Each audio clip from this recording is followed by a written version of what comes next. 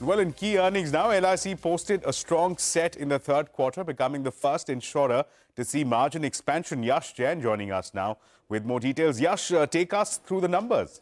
Well, Ashmit, uh, when the whole life insurance sector is struggling, you know, to expand its premium, to sort of uh, expand its margins, LIC's come out with very, very strong numbers. And these are not just strong numbers on a year-on-year -year basis, but against what Street was estimating as well. The total annualized premium equivalent has grown by about 7% on a year-on-year -year basis. The Street was estimating this number at about 13,056 crore rupees. It's come in at about 13,163 crore rupees. Value of new business has grown by 46% in the third quarter. That number has come in at about 2634 crore rupees. The street was esti uh, estimating about 1800 crore rupees. Finally, the margins seeing a very, very strong expansion. The margins are up about 541 basis points, coming in at about 20.01%.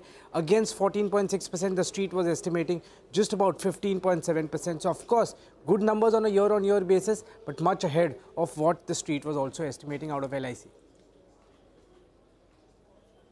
Right, Yash, thanks a lot for that. But staying with the earnings,